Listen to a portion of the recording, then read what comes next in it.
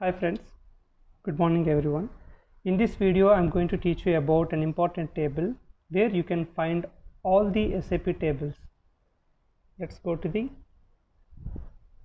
table SE16N DD02L. So here you can get all the list of uh, tables in SAP.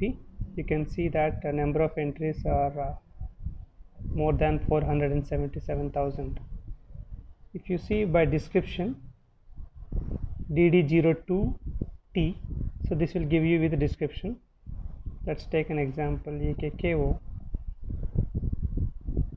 so pass the language en so you will get that uh, purchase document header. Okay? In similar way you can get uh, multiple kind of uh, tables. Just execute it. System will provide you the list of tables